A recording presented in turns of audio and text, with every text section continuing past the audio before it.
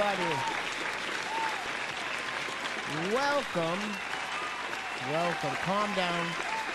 That's a lot, guys. That's a lot. That's a lot. The big guys don't get that much. I'm just a stoner, guys. Sit down. I'm going to be in the area all day. Or at least till 5. Then I'm on my way. What's up, everybody? Welcome to Waxy Brown's Flower Power Hour on KKID 92.9. This is that show, guys, where me and my friends are we're going to talk about, shh, you guessed it, cannabis, marijuana, pot. All those things that you heard were bad and had fear and stigma attached to them. We're going to talk about it. We're going to bring it out in the light. And we're going to do that in grand old fashion. I've got a good buddy of mine on deck, George Biswell. What's up, my can evangelist friend? What a great opportunity to be here. Me? I No, agree, buddy. Yeah, me to be with you. Oh. I like this. Yeah, it's a great opportunity. Thank you very much. I didn't want to do this over the phone. I think it's much cooler to be in Oh, live and I live. Absolutely. We I agree. appreciate you driving in on Yeah. such a beautiful spring day here Yes, in the sir. Ozarks, Yeah, right? Yep. Definitely, definitely. I got four wheel. I got the most ex- uh, expensive car, but the most safest car on the road. I got a Subaru Outback Legacy. With wings. Yeah, it, And jet fuel. It'll fly. if That's right, baby. There you go. He said, I I'm came a- in in grand old fashion. George Biswell came in on the Biswell mobile. We're into it. All right, 315, I got Justin Trowbridge, the hemp guy, is going to be calling in with Jared Elliott. This guy is, this, I believe, is CEO of Terabo- Terabotics, right? Ter- Terabiotics.com. That's the cool thing about shows like this is I get to learn new words like, ter- hold on, Terabiotics.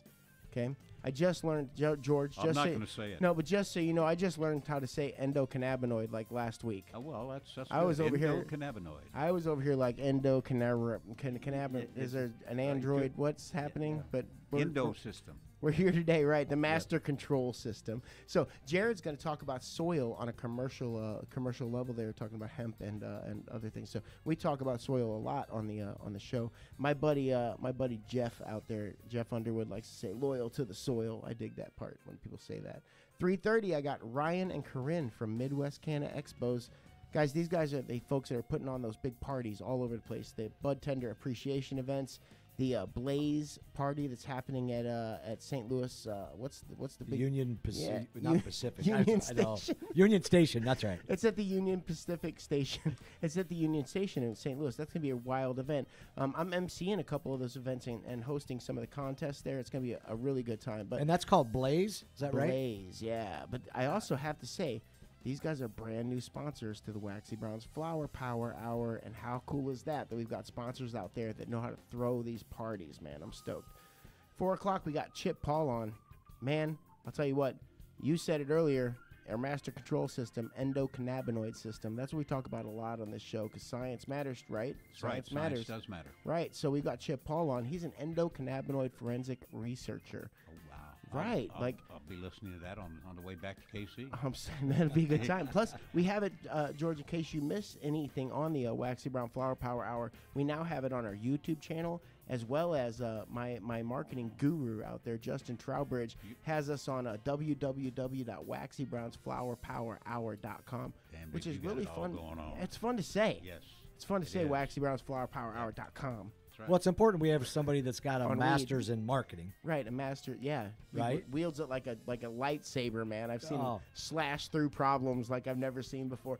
Which, to be real, and I'm I'm gonna go a little off script here, and not that I'm ever on script, but Right. i- if you're in the Missouri industry and uh, in the cannabis industry, and you want visibility and you want a spotlight on your brands and things like that. You need a guy like Justin Trowbridge. Like I can't tell you how much he's elevated my business and some of my other friends out there he's gone on and helped them through some of their stuff as well. So if there's a project you want, or uh, or maybe you want someone to handle like the the cool the cool and the goofiness of what we've got going on in the cannabis industry, that's my dude to go to, man. So 420.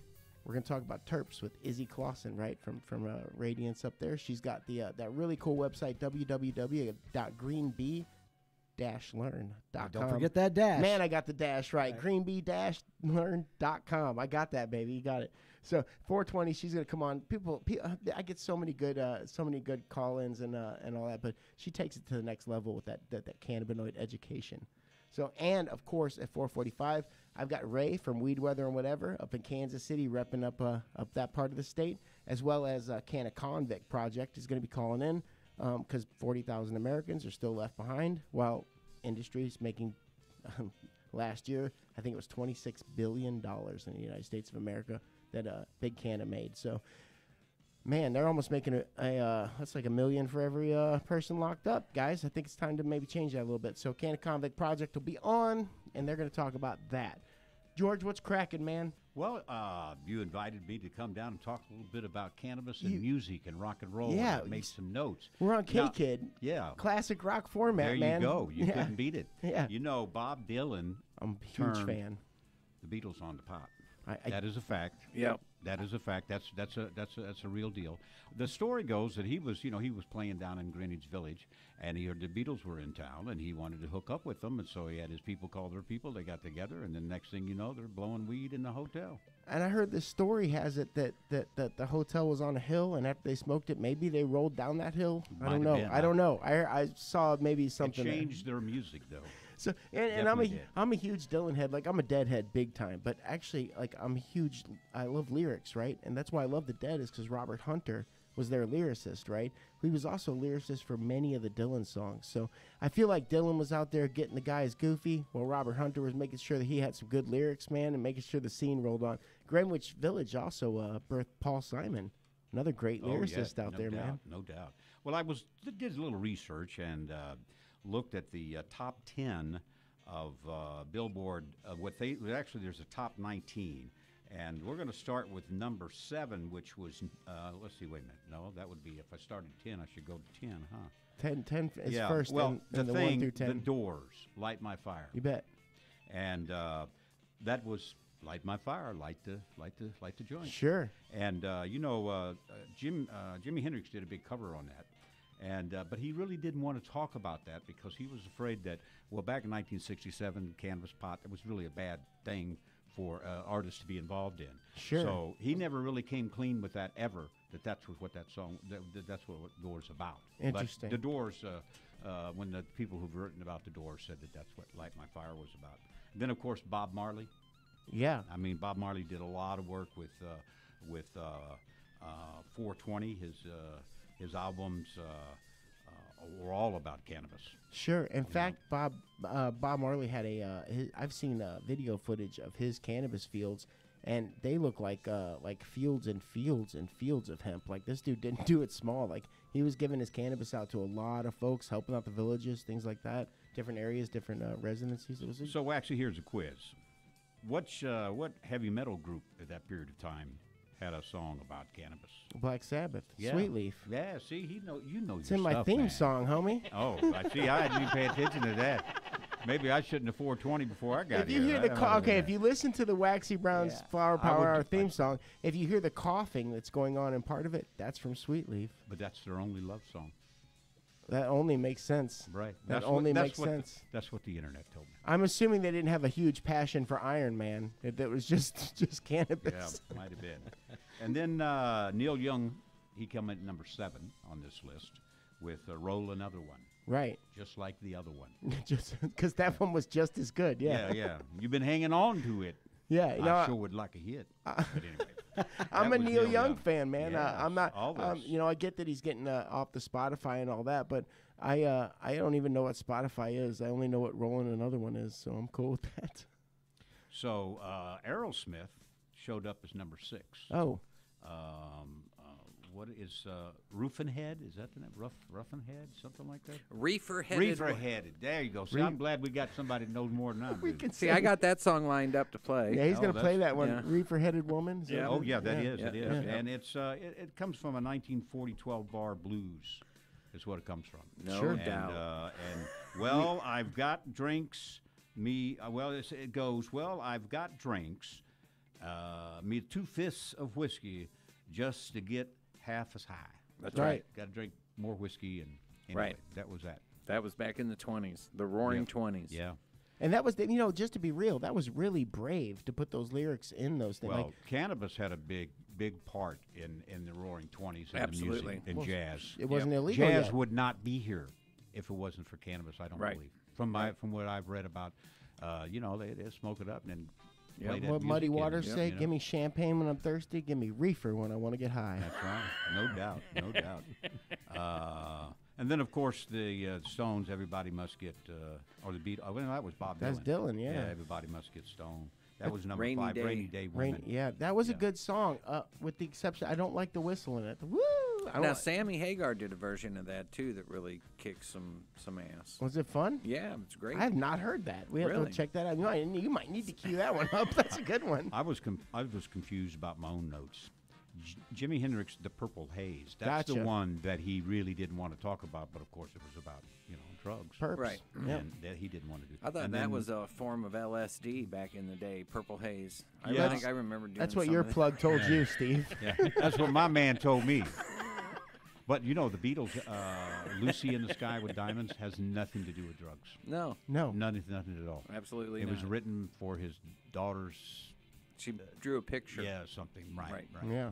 So, and you know, I, I heard Lucy an interview with Ringo, and he said after that they started looking at all of their their lyrics and Right. and, and the titles and the and the and oh, does this mean that? And Right. really, it was just a coincidence. So much that the Beatles even wrote lyrics. Uh, well, you know, John. Yeah. I don't remember which one that was, but but they wrote the. Oh no, it was uh, "I Am the was on the Walrus." yeah. it was the "I Am the Walrus" song, and that whole song was written because they heard people were in t- were, were trying to figure out what their lyrics were, so they wrote lyrics. They were using Yes. school kids to, to figure these lyrics out, so they wrote that in there to see what they come up with. And Right. It was pretty wild, man. Yeah, because that song ends with "Everybody smokes Everybody pot, smokes pot, everybody smokes pot, yeah. everybody smokes Yeah, that was the uh, "I Am a Walrus." Yes. Yeah. Yeah. Well, after they got turned on, they, their whole music changed. Yeah. Of course. I think I think we before Justin comes on, do we need to pay some bills? Uh, we can hang for a minute. We can probably do it afterwards. Okay, As sounds long as we got two breaks between now and the top of the hour. As long as you're not sending me an I'm- invoice, we're cool, baby. I'm, I'm, we're, All right. we're good. We're good. He's calling in two Yeah, it- minutes. it's so- good Yeah, to sit all in, right, the, in, in, in the studio with the general manager. I, it usually doesn't work that way in the big True- radio. true story. They're off in a big office somewhere. This is cool. Yeah, This if I'm, cool. uh, there's almost no accountability here on my part. It's all on him. The responsibility, just a baby bit, but the accountability, I got nothing. You We're good. got a good thing Keep working there, trucking, man. George. Yeah, there keep you go. trucking. we keep That's the right. owner out of the station. there station. you go. Do we? He, he definitely tunes out, but he's here. You know, from ni- did I tell you that from 1967 to 1976, the top 200 Billboard uh, had uh, mentioned uh, cannabis or pot or getting high in every one of those songs. Wow, I believe that. That was a you know, just little things here and there. And what Lots year of- span was that? That would have been 68, 67 to 67. 1976. Which is Oh, a lot. my wheelhouse. Right. Yeah. Nine years, right. Yeah. I mean, That's that's. a- a lot well, of we were music there. talking today, and you were looking up that uh, KSHE 95 out It's of St. Louis Oldest rock station, classic rock station in America. in the world. In the world, it Right. said. Yeah, that's and they, wild. they sponsored our first uh, NORML concert here in Rolla in 1960, 1976. I yeah, believe George it. was a big Right. part of NORML, right? Yeah, yeah, yeah, yeah. You bet. we want to tell a little bit of that story before you go, though. By the Okay. After we get off with Justin, we need to talk a little bit. All right. But so I was gonna say uh, with the with with those particular years there, it only makes sense. But here's the other trick to that: is that I can listen to any song in any country, blues, you name it, whatever, and I'm gonna hear cannabis in it. Just so you know, that's how I'm gonna. That's how I look at everything. Yeah, well, it's uh, all Perspective. things. Can, that's just because uh, you're you're really a can evangelist. Because a can evangelist is all things cannabis. I guess so. Then, So, yeah. So Have you been anointed yet? No, I- I, don't. I- yeah, yeah, we- maybe I'm waiting for him to give me the franchise fee. Yeah, whatever. what's it take, man? Put me in the water. Yeah, I'm waiting for that franchise fee. Come on in, boys. The water's fine. There you go. There you go. That's right. neither the neither the Lord nor earth got nothing on me now, boys. That's right. He's ready to go. I'm anointed. Yes, you are. well, you know the name. We talked about it earlier when I was on a show a couple of months ago, and uh, my son gave me the name, and uh, but it, it it helps me talk about cannabis, and, and that's really what what I'm all about. And uh, to uh, not just you know not just of the fact that we enjoy the uh, the euphoria of the of the of the plant, but all the other stuff that's attached to it. How old are you, George? I'm 72, What? How old were you when you started smoking pot? 22 years old. In all that time, did you think you get to see this very moment with your own eyes? Uh, no, I didn't think I'd Even being it. a part of NORML and being a part I of all thought we might get to a decriminalization level at some point, but for 17 years I didn't consume at all. I was on a. I, I don't want to say I was a POW or anything like that. I was working in my job required uh, a commercial driver's license. Yep. And oh, I would so- say I was in jail too. but you're talking about well, being on the road. Yeah, right, yeah. gotcha. So, well, I worked. I worked in city government, and, and you got drug tested, and Yeah, so right. um, I can. I know the date, December the first, nineteen ninety four. I stopped, and I started again October the eleventh, two thousand eleven. Right. When The that- very day that I was retired. You ever gonna stop again? No, No. no, no, I doubt that. Right. I, I don't think you should. You got you. No, and I and I, I didn't really consume a lot of uh, CBD and the other things back then as much as I do now. I, Right. I have a regimen that uh, my doctor says that I'm not in excellent health because I got a little high blood pressure, but I'm in really good health. So, and she, we contributed to the use of, of cannabis uh, and CBD. The I other use, I use large amounts of CBD. I don't think you can take too much CBD. Yep. I really don't believe your body. You, you can take as much as you want to take. Some Yep. people say, "Oh, you only take need to take 10 milligrams a day." Well, I, that wouldn't work for me. Well, your your body has an exit strategy Yeah. for extra cannabinoids anyway. That's It's just not going to so, use so them. it's Right. not going to it's Right. not going to hurt you anyway. Yeah. Exactly. Exactly. There you go. All Right. good. That's awesome. All right. Well, Well, that's about all I got on on the on the music scene. Oh, unless you wanted to talk about rap, of course, and this is not a rap. You know, section, but I, man, I heard they- a, I heard a quote this morning, and Yeah. I listen. I listen to rap, but this is Oh, I a do classic rock format, right? So Right. so I did hear a, uh, a I saw something this morning. It said uh, it said something like, uh, "So you believe that rap is better than classic rock? Well." Then you must be wrong and stupid. So, but I'm not gonna. I'm not gonna go there.